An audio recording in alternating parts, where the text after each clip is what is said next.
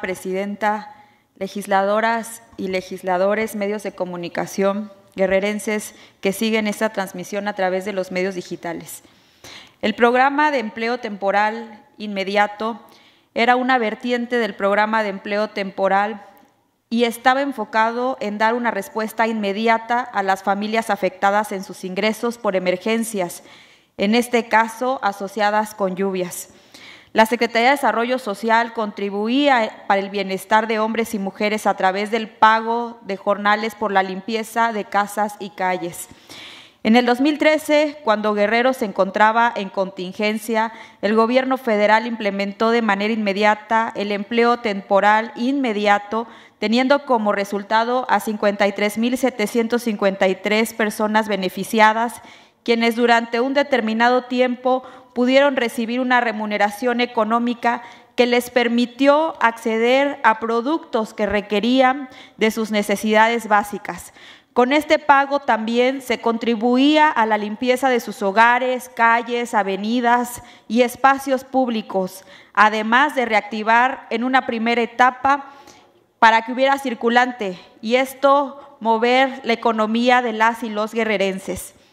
El desastre del huracán Otis estaría afectando el 100% de la economía de Acapulco y al 60% de la actividad económica de Guerrero, mermando más la capacidad del Estado de generar ingresos locales, aseguró Julián Uriostegui Carvajal, presidente de Conca Ingro.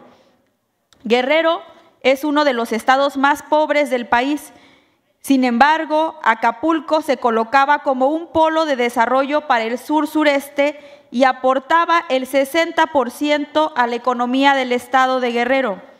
Entonces, en ese contexto, es un golpe muy duro para la economía del estado.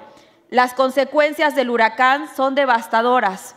Otro dato alarmante es que los daños por el huracán Otis también hacen que la entidad deje de lado la meta de acrecentar sus ingresos locales.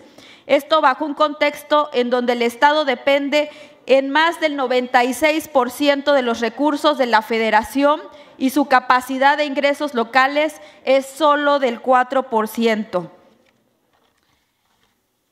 Es preocupante ¿Por qué la gente sin empleo y sin ingresos económicos puede no regresar, puede abandonar de manera permanente el destino de Acapulco?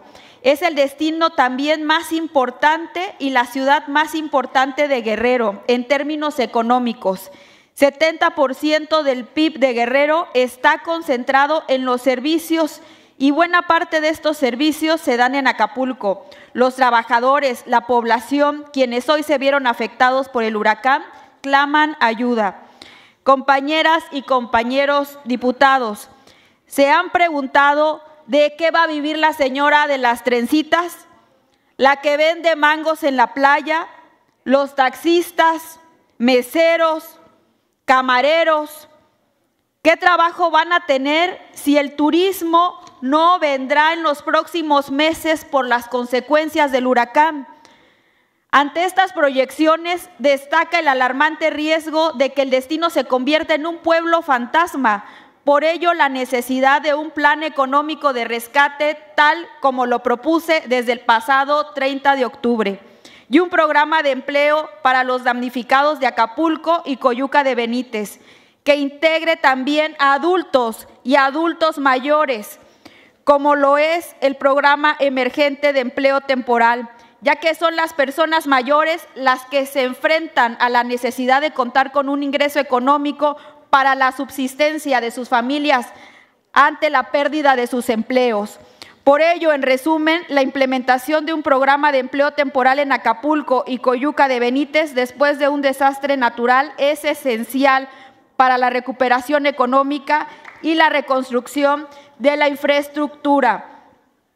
Por lo anteriormente expuesto, junto con mi compañero diputado Ricardo Astudillo Calvo, someto a la consideración del Pleno este punto de acuerdo de urgente y obvia resolución. Compañeras y compañeros diputados, está en su cancha este punto de acuerdo. Gracias, es cuanto. Esta presidencia, con fundamento en el artículo